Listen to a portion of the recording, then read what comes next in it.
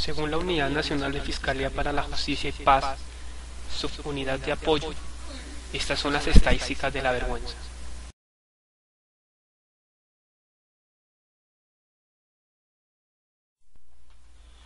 Las mayores arterias fluviales que cruzan el país de sur a norte son los ríos Cauca y Magdalena, verdaderos cementerios de cuerpos sin identificación que en Colombia son conocidos con la sigla NN, una sigla de infamia, dolor y olvido.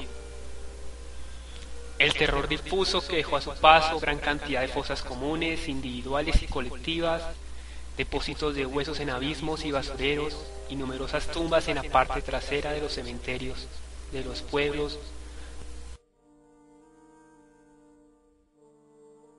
¿Por qué esclarecer y recordar tantas atrocidades perpetradas en Colombia? ¿Para qué entonces reconstruir la historia y la memoria de esos hechos tan terribles? ¿No sería mejor enterrarlos en el olvido perpetuo? El deber de memoria está lleno de esperanza la lucha por reconstruir la historia y recuperar la memoria de hechos como los de Trujillo o El Salado o Mapiripán. Una larga historia. Un esfuerzo deliberado por hacer al menos un poco de justicia a las víctimas de esas atrocidades y por lograr que horrores de esa naturaleza no queden en la impunidad, en el olvido y nunca, jamás se repitan.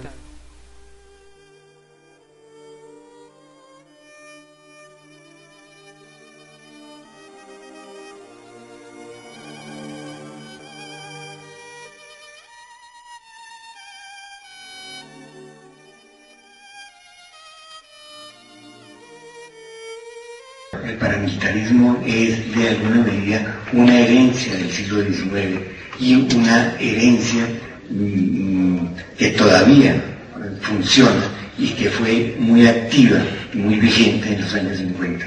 Los chulavitas, los pájaros, las guerrillas de paz y, y, todas estas formas de organización que tiene el establecimiento eh, por medio del Estado para liquidar la oposición es una historia que eh, se expresa, digámoslo así, en lo que hoy vive el país como guerra.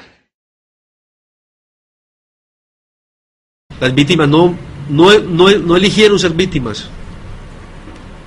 Ellos no eligieron ser víctimas y que merecen conocer la verdad, merecen respeto,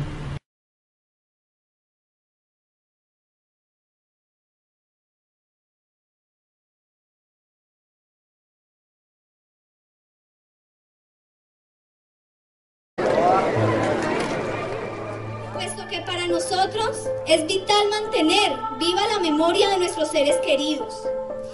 Ellos son el motor de nuestra resistencia. Ellos y ellas son la razón de nuestra lucha. Es importante demostrar además que eran hombres y mujeres campesinas, trabajadores, que aportaban a un proceso social. El trabajo de reconstrucción de la historia hecho por la Comisión de Memoria nos permite llevar la historia de los sucesos violentos de Trujillo a un escenario mundial. En él y para nosotros esperamos que se conozca lo que pasó en Trujillo. Eh, se conocerá la verdad de los hechos y la evidente responsabilidad del Estado además de la total impunidad y la no reparación que hoy, 18 años de la masacre, sigue latente. Esperamos con este informe que el mundo ponga los ojos en Trujillo y nos, nos apoyen en el proceso de búsqueda de justicia. Que algún día los victimarios sean castigados y las familias reparadas integralmente. Esperamos además que nuestra historia y la de muchas comunidades que sufrimos los crímenes cometidos por el Estado sea conocida con el propósito de que nunca más estos crímenes vuelvan a ocurrir. Gracias.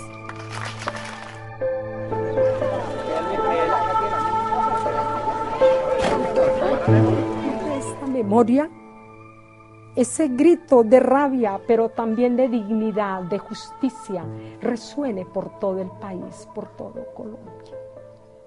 porque todavía el caso Trujillo está en la total impunidad 100%.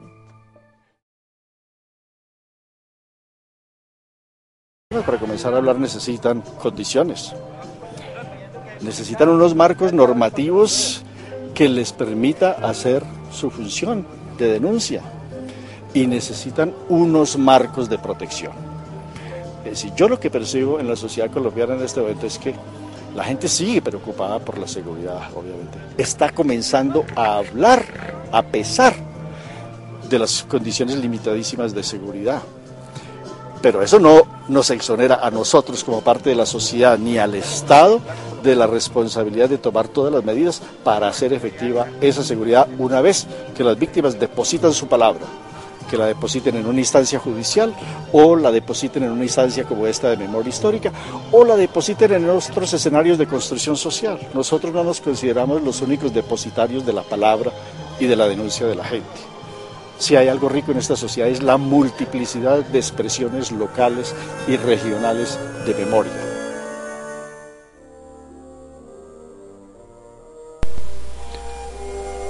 La Organización de Derechos Humanos Amnistía Internacional manifestaba en el año 2006 el proyecto de ley Justicia y Paz, decreto ley 975 del 2005, no cumple las normas internacionales sobre el derecho de las víctimas a la verdad, la justicia y la reparación.